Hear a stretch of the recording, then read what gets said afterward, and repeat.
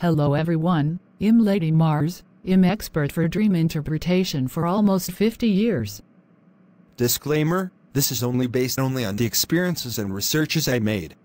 Our dreams to be interpreted for today is, what does it mean when you dream about money?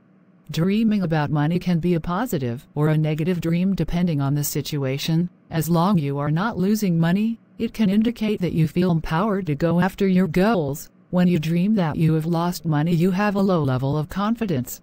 The following are the situations of our dreams and its meaning. Gaining power. Whenever you dream that you have gained money or have a large store of it in a dream, it is an indication that you feel capable of achieving whatever goal or objective that you have in life. You are able to think about what you want and put those thoughts into action. Often, the presence of money in a dream shows that you are ready and capable of going after what you want. For positive dreams, money reflects power, opportunity, and a world filled with possibilities.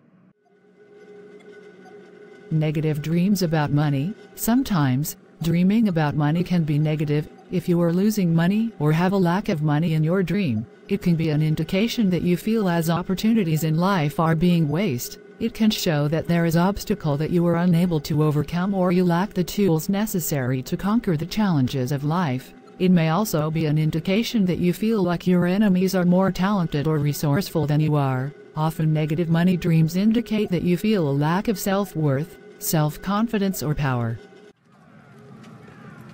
Finding money. If you dream that you found money, it shows that you feel free of the negativity of your life. Even when bad things happen, you feel like you are capable to overcome them. You feel positive, capable and aware of everything that is capable.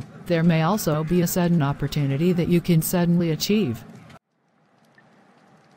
Stealing or being robbed. If someone steals money in a dream, it shows that you feel like the opportunities that you had in life are gradually starting to dry up.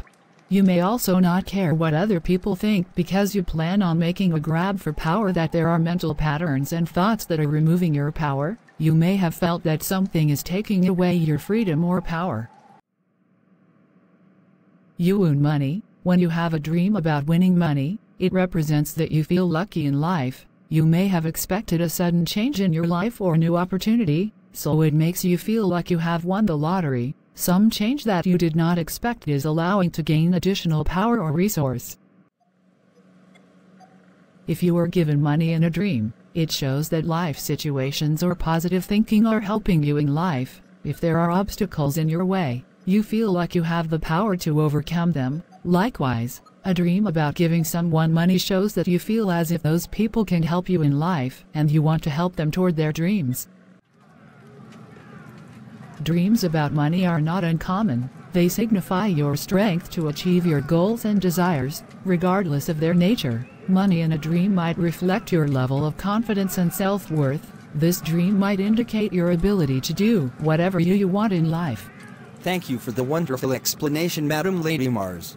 Welcome, Ghost Boy. It's my pleasure to discuss it with you. But before anything else, let me greet our audiences. Hello there, hope I have given you a very good explanation on dreams about money. So if you're new to my channel, please consider subscribe, like and share this video and don't forget to hit the notification bell so that you will be notified for my next video. Thank you very much and God bless everyone. Bye.